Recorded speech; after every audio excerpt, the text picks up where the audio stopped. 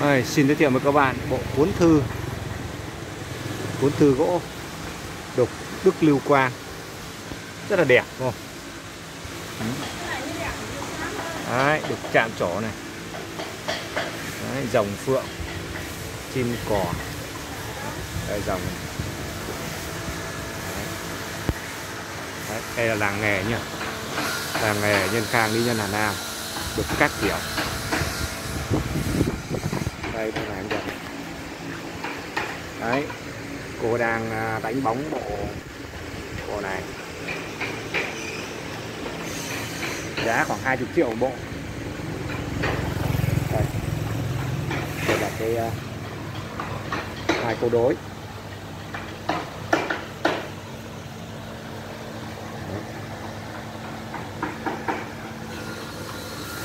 Gỗ này là gỗ gì cô nhỉ? À, gỗ đỏ vụ đây à? à đây là vô cụ này. Cụ nó tối màu đúng không? Còn cái này là có đỏ. Hai cô đối này, có đỏ. Hai chục triệu bộ. Dày ha dày chết à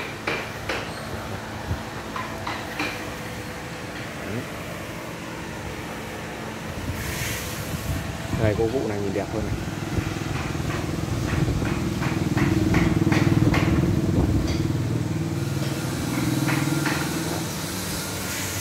Cô này cô đang ờ, trà nhám này. Cô này là bộ ờ, gỗ vụ đây đúng không? Đấy đang trà nhám gỗ vụ này. Mình dục nam mình hàng này, mình ở quê mình làm nhiều không nhiều triệu đẹp hơn cái này là mấy miếng, hai miếng à? Đúng rồi. Hai miếng này. Cặp này hai miếng.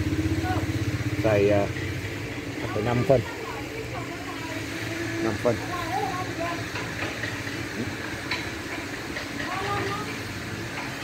Quá đẹp luôn. Đây.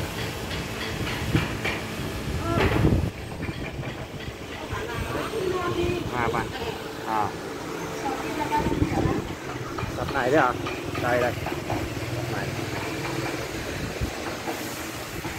35 triệu đúng không? Cái này dày nhỉ? À.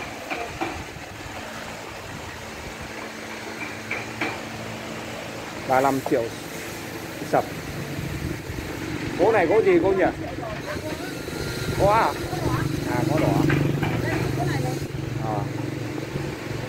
35 triệu. Cái này chắc là hai mét mét sáu thì phải. 1 2 đúng rồi 2 mét mét 6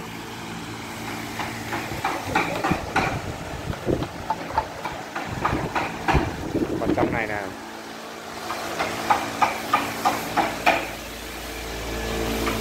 trường này. Đấy, trường.